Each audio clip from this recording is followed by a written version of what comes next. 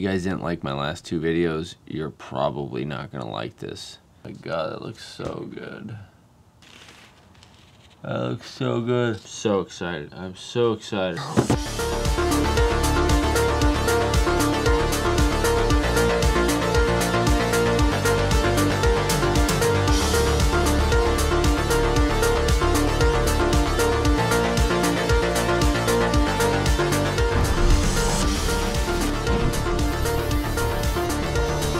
Yo, Josh Yeo. So a few months ago, I brought you guys my custom low light picture profile for the Sony a7 III, and the response has been tremendous. You guys have taken to the street and sent me all sorts of photos and videos. It's been amazing to be a part of that, so thank you guys so much for sending me that stuff, and I'm hoping that this episode inspires that kind of interaction even more. If you don't know what I'm talking about, picture profile, watch this video here and program those settings into your camera and then circle back because tonight's episode is gonna piggyback off of that lesson. Then once we're all on the same page, I can give you guys one of my LUTs and turn your footage into some sci-fi Blade Runner looking thing. The inspiration was Blade Runner, but somehow in the creative process, it turned into Supertron.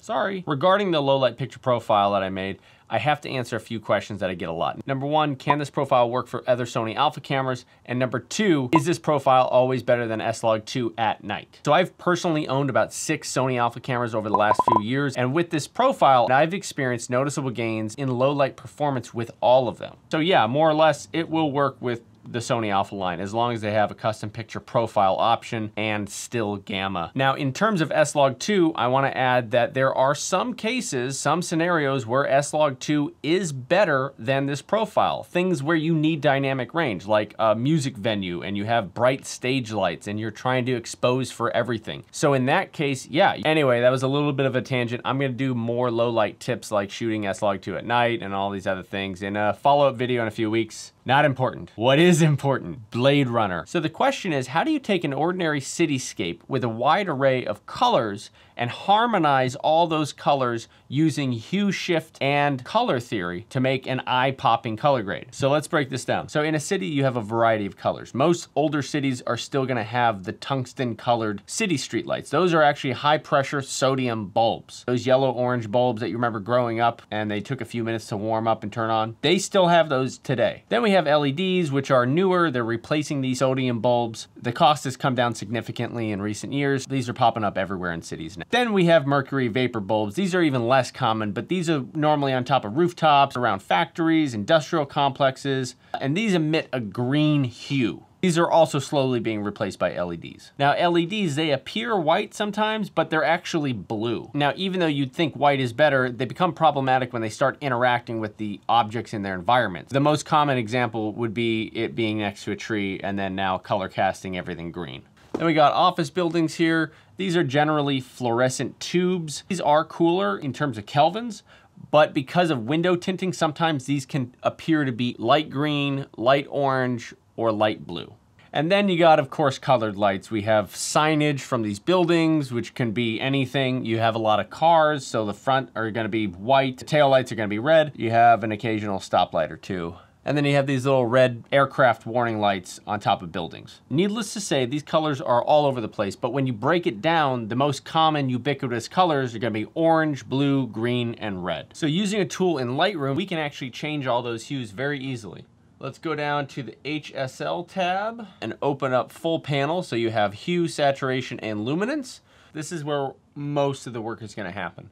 This is basically telling us how the computer is going to interpret those colors. So we can take red and we can slide it towards magenta, or we can take orange and slide it towards red, or we can take, uh, let's take yellow, slide it more towards orange, take greens, then we'll go the opposite way here. We'll start jamming everything.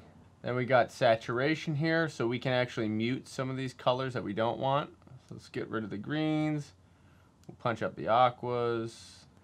And then we also have luminance, and luminance tells us how bright we want each color to be. So if you want colors to fade away, you bring the luminance up, you give it more light. If you want them to deepen and to be more concentrated, then you bring the luminance down. Looks interesting, it's not there yet. The second tool, which is the game changer here, is actually split toning. Split toning, you can force colors into highlights and into shadows. All right, so highlights. Let's do the highlights are gonna be magenta. And then we, ooh, wow, that's really intense. We can just scale that down. There we go. And then let's do the opposite. So then if we want to push it even further, we can go down to calibration here. Um, this will let us force even more colors. Um, it's actually just telling our camera, it's telling the computer to interpret certain colors as other colors right from the get-go. You get the idea. What we're doing is we're actually forcing these hues into other hues and we can start combining them. So it starts harmonizing the image. What gets really technical is when you start bringing in color theory and you start balancing out the image, complementary colors or triad colors, analogous colors. The idea is to slowly nudge these colors into a more favorable direction, one that aligns with whatever color palette we're working with, without pushing them so far as to break apart the image. In photos, especially if you're shooting with a high-res 12-bit or 14-bit RAW file, it's actually not that hard to do. You can push the colors around quite a bit before they start really breaking apart and showing artifacts. In fact, there's already a few YouTubers who've beat me to it. Denny from Denny's Tips, bro, my hat is off to you. This is a hardcore plug right now. His video definitely needs more views. Watch his video if you guys wanna know more on this Lightroom workflow. It, he absolutely nails it. Okay, so now what about about with video? Photos and photo-based workflows like time lapses, hyperlapses, and burst lapse, you're gonna have more flexibility pushing these colors around. With video, using compression, you need a very large codec, like ProRes 4444, in order to pull this off without shredding the image apart to a saturated mess. With an 8-bit XAVC codec, it's gonna be a real negotiation on how far we can push these colors before the entire image just breaks apart. But we're not alone. Otis, what are you doing tonight? Systems Online, creating a new project in DaVinci Resolve. Analyzing color profiles of the Blade Runner films. You guys ready to go? First lookup table created. 1982.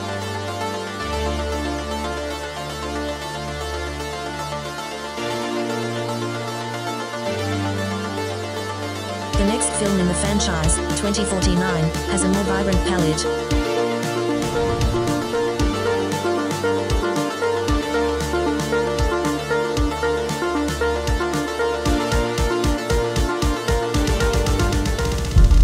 Research on Blade Runner shows it's not an original source. Yeah, the Philip Dick novel, Do Androids Dream of Electric Sheep? We should probably analyze that as well. I've already begun.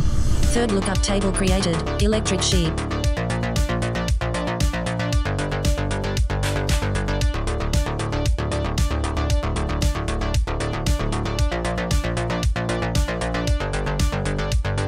Book and the film really shaped a lot of the cyberpunk genre that we know today. There was one other book that had a huge role. William Gibson released Neuromancer two years after Blade Runner. That book had a huge impact on what we know as the cyberpunk genre in general. Third lookup table created, Cybermancer. Warning, the color grade at 100% intensity is too strong. We are at the limits of the XAVC codec, severe color banding present. Switching to 6K burst lapse mode.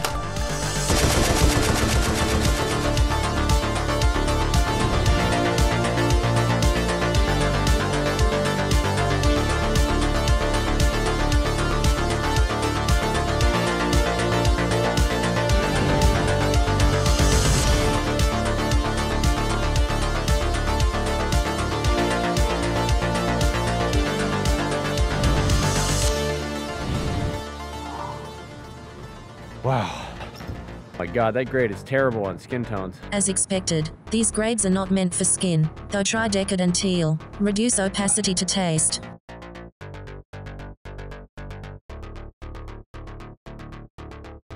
See what's fascinating about the whole cyberpunk genre in general is just how it's evolved over time. Blade Runner took structural notes from the anti-hero detective novels of like the 50s, but the world building, the actual aesthetics of it, that was taken from French comic books of the 1970s. And it can be traced back to one dude, a legendary graphic artist in the comic world. This guy was master of masters. Otis, compile our last grade on the works of Jean Giraud. I just came up with an idea. Analyzing the works of graphic artist Jean Giraud, known by pen name, Moebius. the film Blade Runner, used his illustrations as visual reference. You are manually modifying the node tree. This will take some time to process. In the meantime, your air transport has arrived.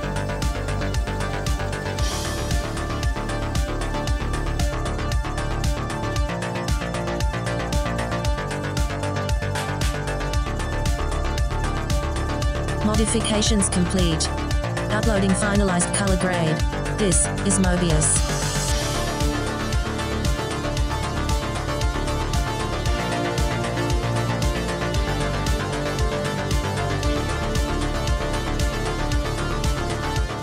Using modified light rays, we can push the color grades past 100% and inject an additional color into the grade.